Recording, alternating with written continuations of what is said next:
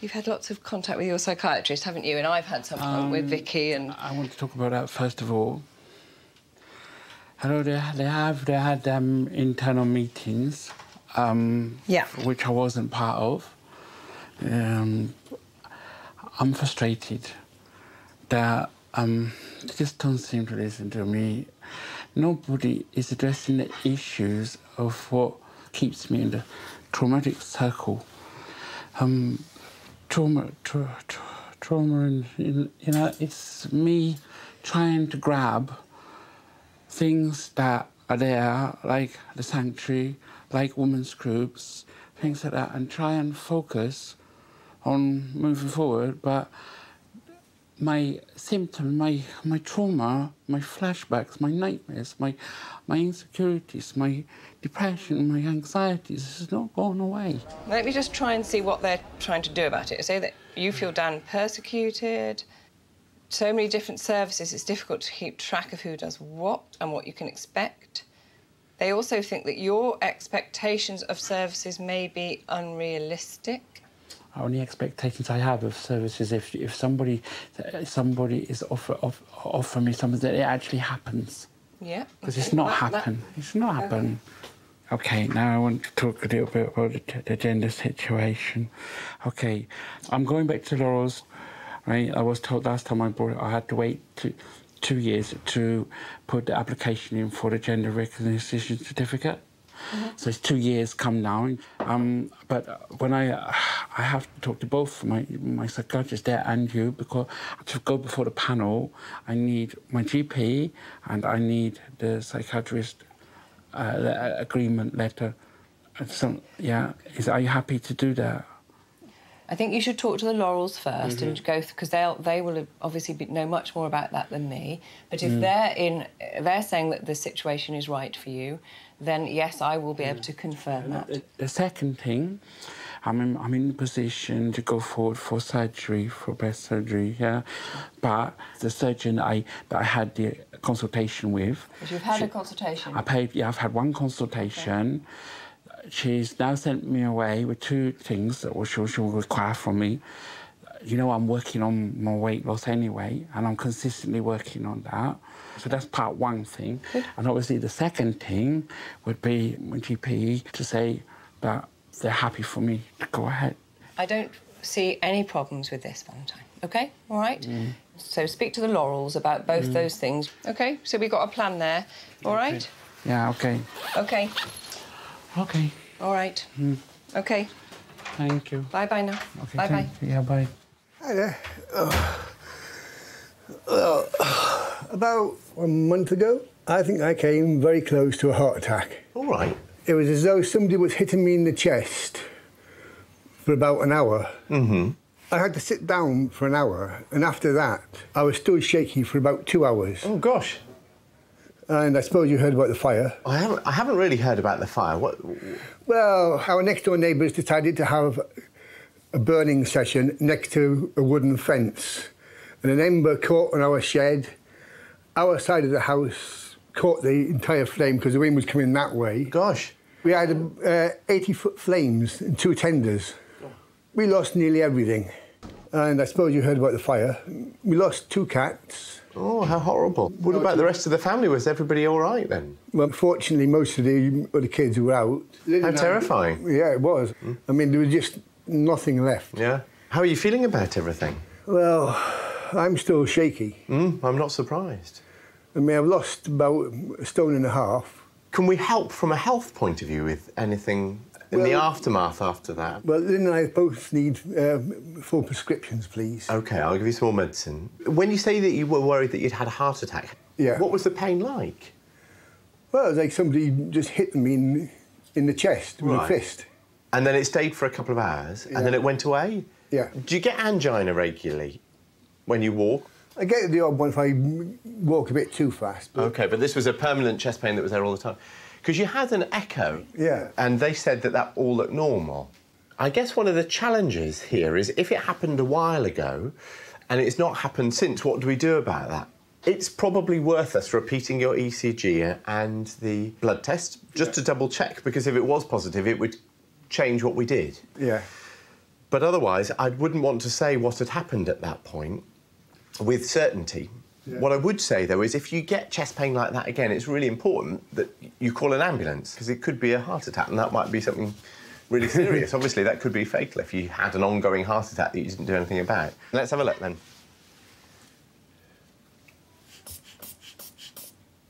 My blood pressure's lovely and normal today. Just listening here. Your oxygen level is okay, and the pulse is okay, and everything else seems normal. Right. And then I'll see you in a couple of weeks to follow up. Right, lovely. Thanks All very right. Right, Thank you very much. Bye then. Bye. Right, what can I do for you? Um, stressed out from work. Right. Um, I did ring them this morning, tell them what the problems were, which was a, a long list I give them. I said I just want time out. So uh, I've also been snappy with my wife as well, coming home. Unbearable. And and just shaky as well.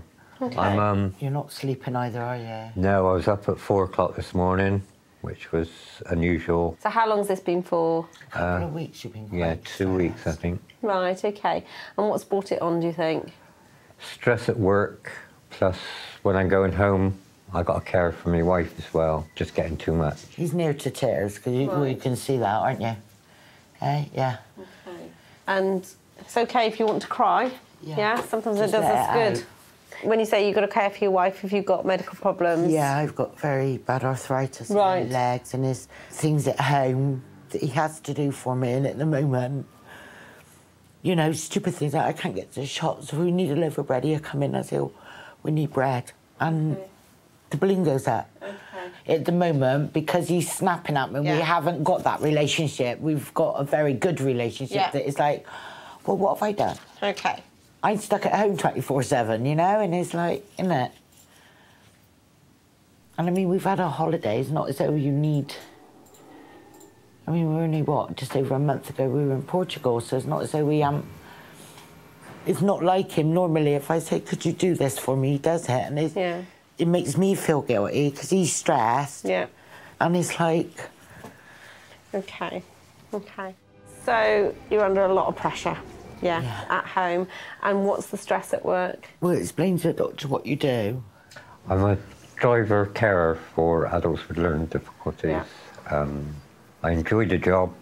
It's not a problem, but um, they've been uh, putting me under a lot of pressure, changing what I'm meant to be doing, um, not informing me, and things like that. Sometimes just things just hit the limit, don't they? So what do you think will help at the moment? Time out, time away, Yeah. and just potter about or go Yeah. out or. Yeah. Yeah. Why don't we give you a couple of weeks off work and come back and see me in two weeks to see how things are having had time out? Yeah? Okay. So there's a sick note for two weeks. We can always extend it, so don't think you've got to go back in two weeks, okay? Take this to reception um, to book a follow up appointment with me, so then I can follow you up in a couple of weeks, all right? Right. Okay, things will get better. Right, okay, thank you. No problem. That's it. Thank you. Come on through, Jeffrey. So we had a chat about this yesterday. Yes. Saw you in uh, November, December, when you you had this sort of tightening of the foreskin. That's right. But you could get it back, um, and I referred, and it got rejected. Correct. But since that time, it's got worse. Definitely. And what can you do? Can you retract it back to go for Not a wee all. or anything like Not that? at all. There's n- there's no retraction at all. Mm-hmm. Um, and it's getting a little bit embarrassing because obviously um, there's no direction. So does your wee come out in a? it- does it spray at yeah. all or? Yeah. Okay, okay. And has there any skin change on the on the tip of the penis that Yeah. you can It, see? there's there's colour change. There's a colour change. Yeah. And what, when did that develop? Well, it's been developing since it hasn't been able to retract. Yeah, yeah. Okay. Can you see what you can retract yourself? Yeah, sure. There's nothing at all. There's a whitish skin change there, though, Yeah. not there? Yeah, fine. Okay. And let you pop your things on and get dressed. That's okay. I think you've dropped a couple of copper pennies there.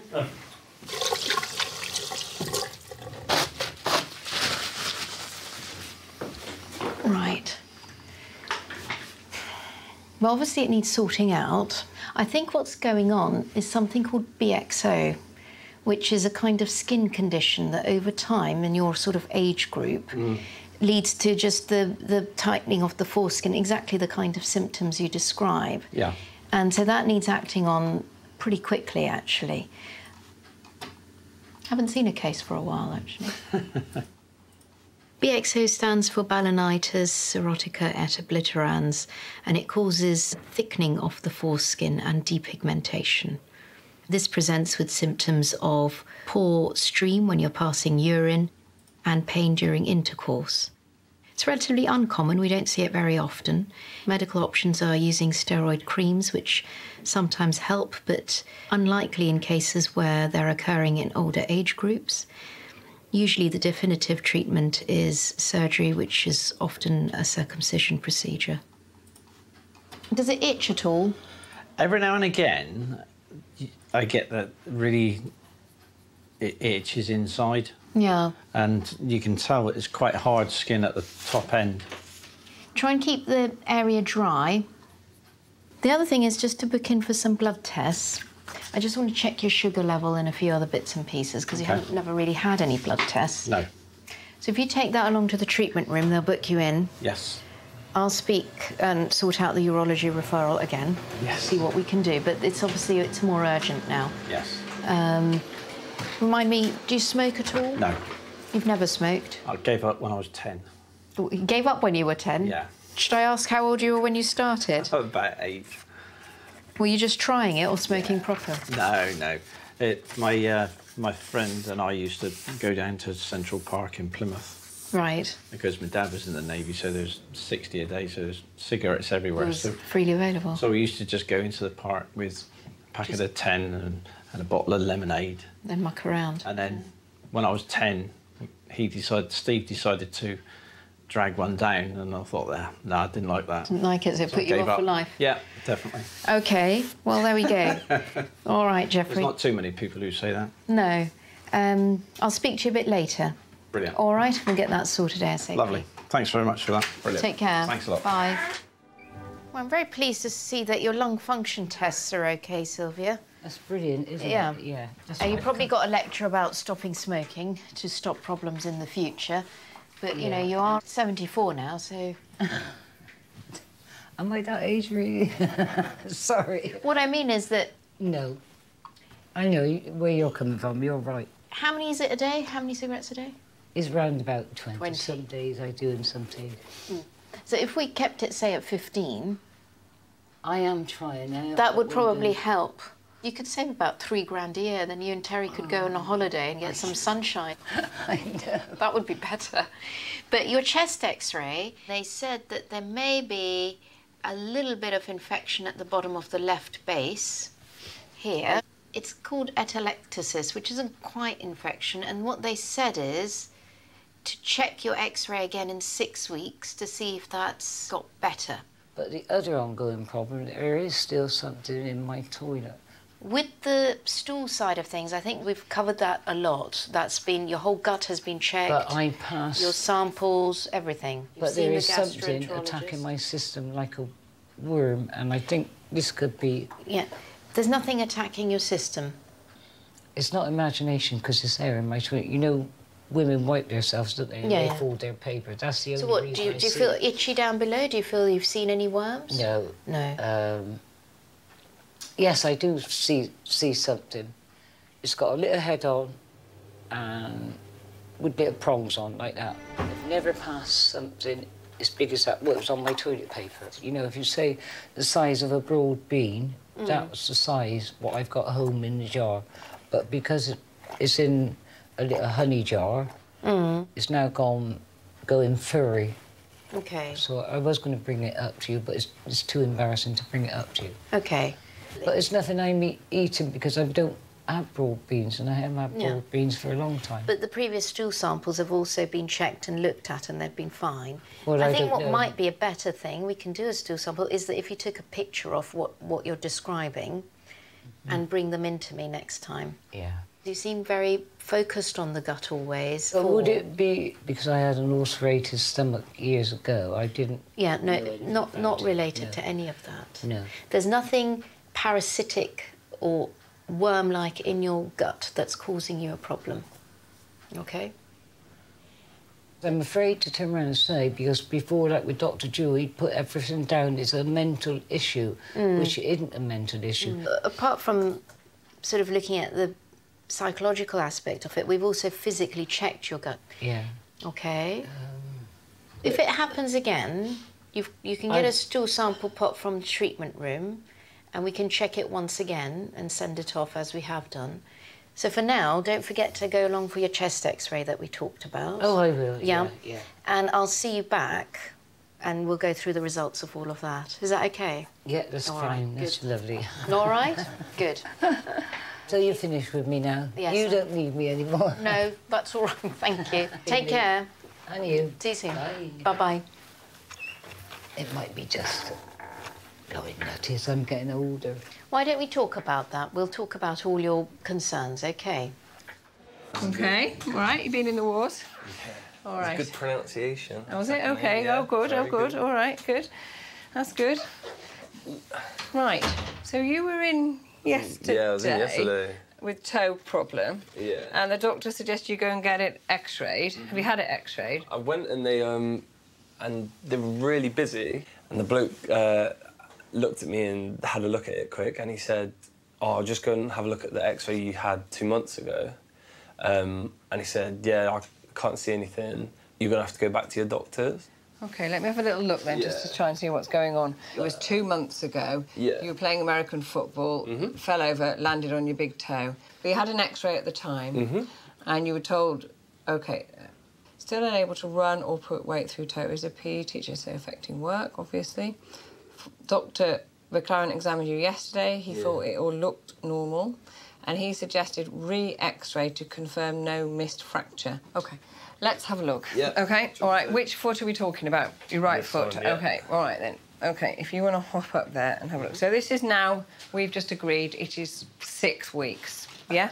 That's just important because a soft tissue injury. Yeah. My pat line is four to six weeks. Yeah, Now yeah. you're not quite at that yet. Mm, okay. Okay. Mhm. Now I don't know if you've been resting it. I have, You- yeah. Okay. So whereabouts now is the pain? If I press in here, it's like excruciating, right, right underneath there. Okay. I'm not pressing hard enough, or is that? It's, it's like just, uh, where you had it there, like underneath. Just under here, yeah.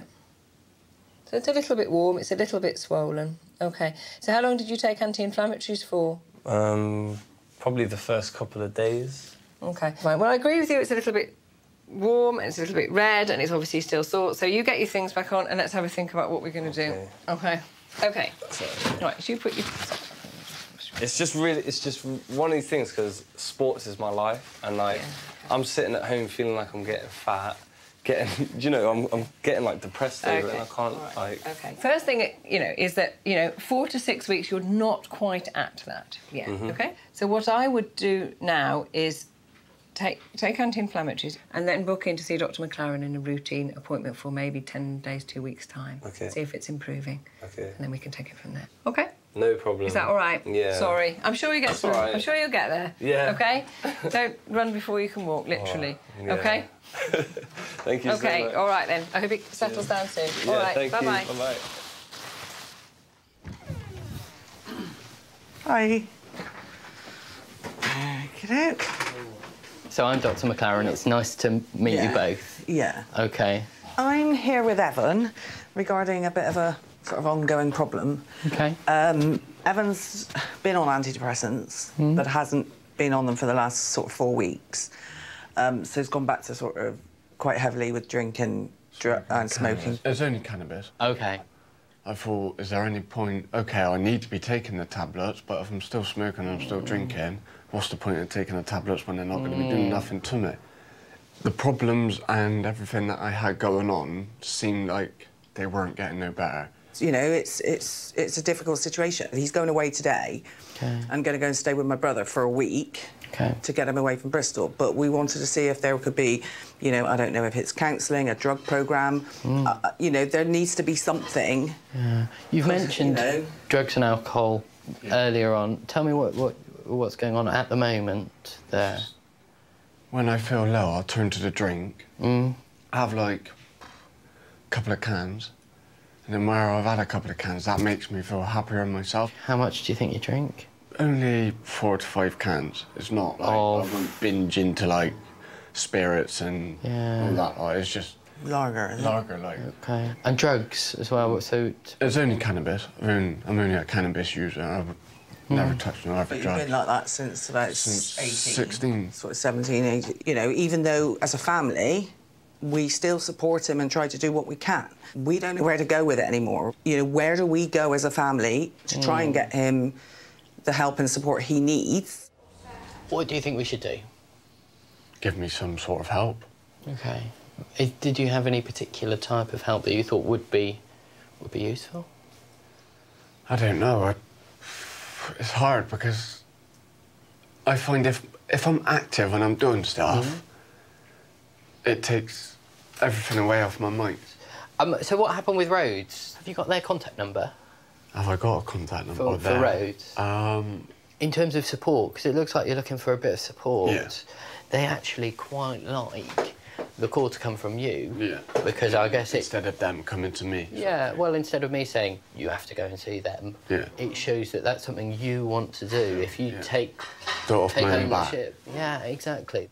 Another thing as well, whilst I'm here, is I've run out of my antidepressant tablets. Yeah. What do you think we should do? Because it sounds like you weren't that weren't that keen to take them. Do you want to try them again? Try It's not the antidepressants. It was more of the diazepam that was keeping me Okay. happier and more bubblier in a person. Diazepam, I'm quite reluctant to prescribe. The reasons being are it's very addictive, mm. and you, you, I guess you've showed that you've, you've had some difficulty with impulse control and with Yeah. with substances Mm. anyway. So I feel like I wouldn't be doing you any favours by giving you think that more diazepam, yeah. diazepam. Mm. Yeah. Um, but we could think about a different antidepressant to see if that ma- has more of an effect if you wanted to. I feel like the antidepressants that I was on weren't actually doing nothing. Okay. okay. Well, let's try something called sertraline. You've not had that one before? No. Okay, if I give you a couple of weeks worth, and then if when you come back, you Make an maybe- appointment to see a ring doctor or whatever, yeah. Yeah. I think it's good that you've come in. I think that we do need to make some changes. Some of them will come from getting the right support, and some of them are things that you know. I need to do myself, yeah.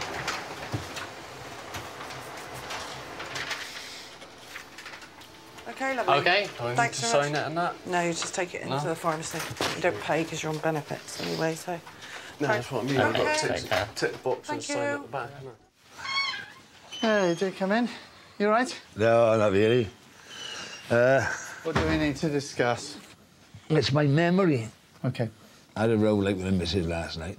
Mhm. Over, over some stupid thing. And 20, 20 minutes later, I didn't know what the row was about. And she asked me to put, uh, to put something by. I put it by. Then she asked me then, uh, a couple hours later, well, that thing I gave her, like, where did you put it? Mm. I can't remember where I put it. Mm. You know, it's, it's things like that. Is this something that's come on fairly recently, do you think? Or Well, no, has it been I've- going on for a while? I've been going, uh, I mean, for a while, like, I mean, I Mm. told her, I think I've had a previous letter from the hospital where I someone said they were a little bit concerned about your memory. I told a specialist, and uh, Mm. as you know, I've just seen her, and um, she said uh, your memory loss and and what you call is probably due to depression, whereas you worry about your mother's death, Mm. you worry about your memory, Mm. you know. Well, I do get depressed. Though I think there was a there was some concern about your memory before your mother's death, Yeah. wasn't there? Actually? Yeah, yeah. Have we done a memory test with you at all? What was that? Just a, a, a test to try and assess actually how bad your memory is. Have we done a check at any stage? No, I haven't. I, haven't. I, I can't remember it. Can't remember I one. I was about to say that, but you said it for me. Okay, should we do that today? Yeah, it's fine. Okay, and then Yeah. we'll chat about where we go next. So I'm going to give you a name and an address to remember. Okay. Right. The, the Not name- too long, though. Not too long. John Brown, uh, and he lives in 42 East Street, Bedminster. 42 East Street, Bedminster. Okay, give me the whole name. John Brown. Yeah. 42 Yeah. East Street, Bedminster. Super. Okay, I'm going to ask you that again in a minute. What was that name and address I asked you to remember? Brown. Hmm? Uh, What's his first name? uh, Brown. East Street. Mm-hmm. Uh, I can't remember. I can't remember his first name. Um, do, do you remember what his address in East Street was? No. No? Okay. And do you know where East Street is? That's uh, Bedminster, isn't it? Bedminster. That's right. That's good. Yeah. Okay. Now, without looking at the watch or clock or anything, can you tell me what the date is today? No. 10th. 10th 10th of what? Of uh, June. Okay. And the year? Uh, 2017. Okay. Okay. All right. Now, a little um, drawing exercise here now. Uh, this is a circle. Okay. Yeah. I'd like you to imagine that that is a clock face. Can you put the numbers around the clock face for me?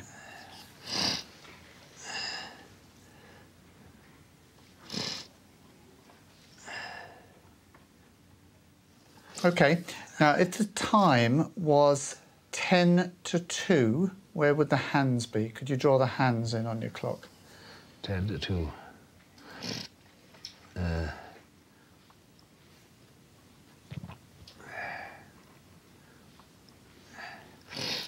Ten to two. Okay. Okay. That's the end of the memory test.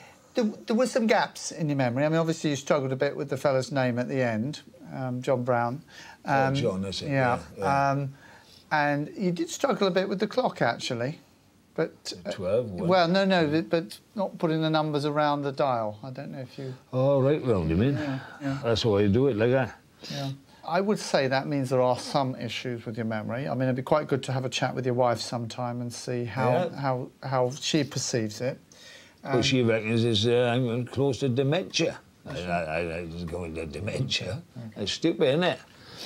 But I'll have a chat with her sometime. What we normally do if people have got problems with their memory is we there's a set of blood tests that we do, which just occasionally help us to know what's going on. Um, uh, we normally get a scan done of the head as well, CT scan of the head. I don't know if you've had a CT scan for your epilepsy at all, have you? I've got so many tests I can't remember. And it will also be useful from an epilepsy point of view as well.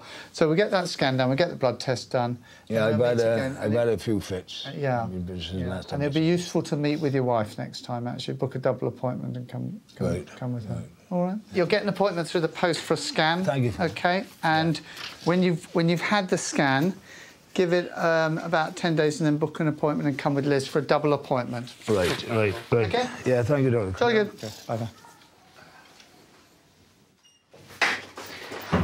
Um, I've got like a, a sort of tremor Yeah. in my in my left arm. Yeah.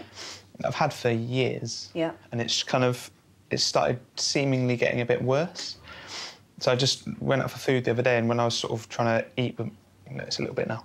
When I was trying to eat, it was really starting to shake quite a bit. Okay. Sometimes, like, it's absolutely fine. Yep. But other times, it's really I can't really put my finger on what it is that makes it happen. I think it might be possibly tiredness, maybe. So you're 29 now. When did you first notice it?